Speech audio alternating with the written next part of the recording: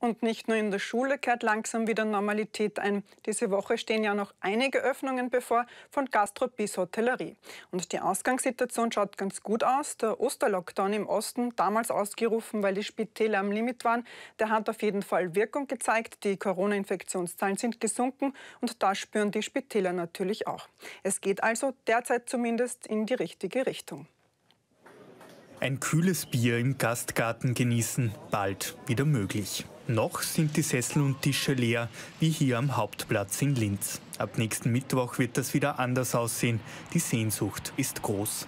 Einfach, dass man, auch wenn es jetzt die schöne Zeit wieder kommt, dass man gemütlich im Biergarten wieder sitzen kann, das im Gastgarten und so. Und das, das wird halt der Wahnsinn wieder. Wieder ins Kaffeehaus gehen, das ist wieder mal ins Kino gehen, das ist wieder mal ins Theater gehen.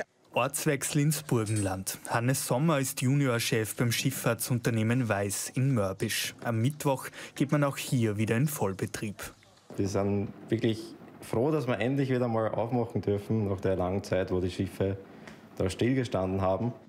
Gastronomie, Hotellerie, Sportstätten, Kultur- und Freizeitbetriebe dürfen ab Mittwoch aufsperren. Voraussetzung für den Eintritt ist die berühmte 3G-Regel, getestet, genesen oder geimpft.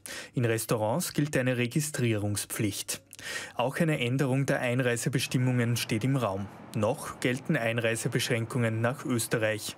Falsche Medienberichte in Italien, man könne die Grenze ohne Einreisekontrolle passieren, verursachten einen Ansturm von Reisenden und Verwirrung an der Tiroler Grenze. Denn auch, dass die Quarantänebestimmungen in Österreich noch gelten, wussten die wenigsten. Die meisten Kurzurlauber kehrten ohne Kurzurlaub wieder um. Mehr zu den Öffnungen sehen Sie gleich bei uns.